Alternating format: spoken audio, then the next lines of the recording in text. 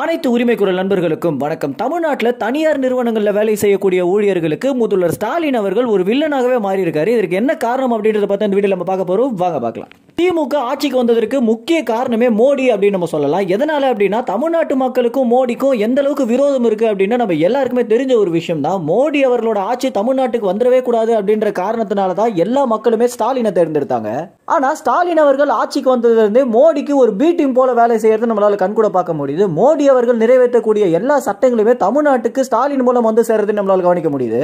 ஆரம்ப காலத்துல மோடியை நாங்க எதிர்க்க வந்தோம் அப்படின்னும் மோடியோட ஆட்சி தமிழ்நாட்டுக்குள்ள வரவே முடியாது அப்படின்னு சொல்லிட்டு இருந்த ஸ்டாலின் அவர்கள் பாத்தீங்கன்னா மோடியோட வருகைக்கு வெள்ளை கொடையை பிடிச்சப்பவே ஸ்டாலின் அவர்கள் மோடிக்கு எந்த அளவுக்கு சொம்பு அடிக்கிறாரு அப்படின்ற விஷயம் எல்லா மக்களுக்குமே வெட்ட வெளிச்சமா புரிய வந்திருந்துச்சு. இந்தியா முழுக்க மோடி ஆண்டுட்டு இருந்தாலுமே ஒரு சில மாநிலங்கள் பாத்தீங்கன்னா மோடிக்கு முழுக்க முழுக்க எதிரான மாநிலங்கள் அப்படின்னு சொல்லலாம். அதுல ஒண்ணுதான் தமிழ்நாடு அப்படின்னு ஸ்டாலின் அவர்கள் ரொம்பவே பெருமையா சொல்லிட்டு இருக்க நிலையில இன்றைய தினம் சட்டப்பேரவையில பாத்தீங்கன்னா தனியார் நிறுவன ஊழியர்களுக்கு இனிமே எட்டு மணி நேர வேலை கிடையாது பன்னெண்டு மணி நேர வேலை அப்படின்ற ஒரு மசோதாவை செயல்படுத்தியிருக்காரு. இந்த பன்னெண்டு மணி நேர வேலை திட்டத்தை மோடி அறிவித்த பிறகு இந்தியால பல மாநிலங்கள்ல பாத்தீங்கன்னா ஊழியர்களோட நலன் ரொம்பவே முக்கியம் அப்படின்ற காரணத்தினால இது ரொம்பவே தவிர்த்துட்டு இருக்காங்க. ஆனா இந்த ஒரு திட்டத்திற்கு ஸ்டாலின் அவர்கள் ஆதரவு தெரிவிச்சது அப்படின்றது தமிழ்நாட்டில் தனியார் நிறுவனத்தில் வேலை செய்யக்கூடிய ஊழியர்கள் எல்லாருக்குமே ஒரு வில்லனாகவே மாறிட்டாரு அப்படின்னு தான் சொல்லணும். ஸ்டாலினோட இந்த செயலுக்கு சீமான் என்ன சொல்லியிருக்காரு அப்படின்னு பாத்தீங்கன்னா இந்த ஒரு திட்டத்தை நீங்க அமல்படுத்திட்டீங்க அப்படின்னா இது வரைக்கும் பார்த்ததை விட பல மடங்கு அதிகப்படியான போராட்டங்கள் தமிழ்நாட்டில் வெடிக்கும் அப்படின்னும். இது வரைக்கும் நீங்க பார்த்ததெல்லாம் ஒரு போராட்டமே கிடையாது அப்படின்னு ஒரு எச்சரிக்கையாவே சொல்லியிருக்காரு.